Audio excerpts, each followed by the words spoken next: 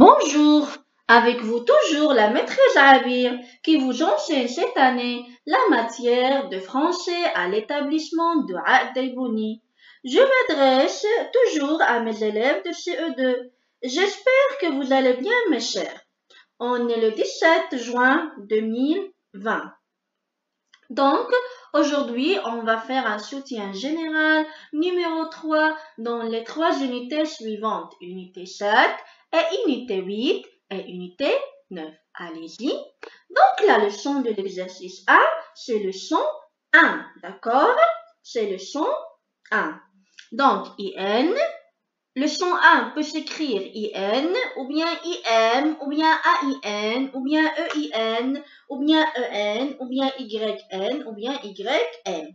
IM, par exemple, comme un lapin, introuvable. Par exemple, IM comme impossible, d'accord? Un timbre, donc quand vous trouvez les lettres P ou B ou M, donc, P ou B, pardon, donc on écrit M au lieu de N. Impossible. Timbre, d'accord? AIN comme un terrain, un écrivain. AIN comme la fin, le dent. EIN comme il peint, le frein. EN par exemple comme un examen EN et l'agenda EEN. Donc c'est le son 1, d'accord? C'est très facile.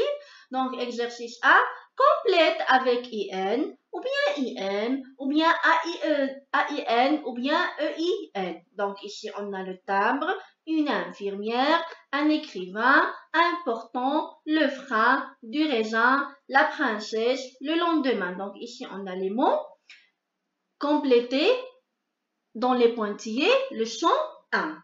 D'accord? D'accord. Exercice 2, c'est euh, la leçon de son avec T ou bien son, son T. Donc, on va voir la différence entre son avec T et son sans T. Donc, son avec T est une forme du verbe être conjugué. Donc, je suis, tu es, il est, nous sommes, vous êtes, ils sont. Donc, c'est le pluriel de est. On a il est, c'est le troisième pronom personnel du singulier. Et ils sont, c'est le troisième pronom personnel du pluriel. D'accord? Par exemple, on peut dire l'enfant est là. Donc, EST, c'est au singulier. Bravo. C'est le verbe être. Les enfants sont là. D'accord? Donc, S-O-N sans la lettre T est un déterminant possessif. On a déjà vu le déterminant possessif, mes chers élèves. Sans, mon, ton, vous me rappelez?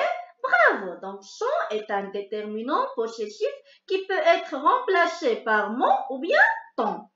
Son père est venu, mon père est venu. Donc, son est un, déterminant possessif et son avec T, c'est un verbe être conjugué. D'accord? Donc, voilà la différence entre eux. Donc, la question est la suivante. Complète avec son ou son avec T. On a six phrases, donc vous devrez compléter les pointillés, soit avec euh, son, soit avec son avec T. Ses camarades viennent jouer avec son train électrique. Ses camarades sont venus jouer avec le train électrique. Donc faites attention. Le collectionneur feuillette son album avec soin. Jacques et son frère partent pour l'école. Il a réussi son problème, son maître est content. Leurs parents sont heureux de leur retour. C'est très facile, mes chers élèves, d'accord? D'accord. L'exercice numéro 3, c'est la leçon, c'est la différence entre A avec accent et A sans accent. Donc, A son accent, voilà, et le verbe avoir conjugué au présent à quelle personne? À la troisième personne du singulier. J'ai, tu as, il a, elle a. Donc voilà, c'est un verbe avoir conjugué.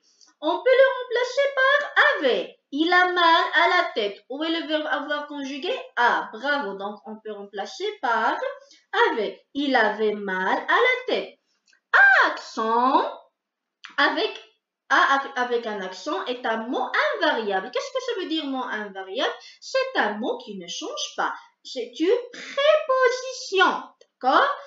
Avec accent, c'est une préposition. Donc, il a mal à la tête. D'accord? D'accord, mes chers élèves? Donc, complète les phrases avec A accent ou A sans accent. Il a acheté une salade de tomates à la boulangerie.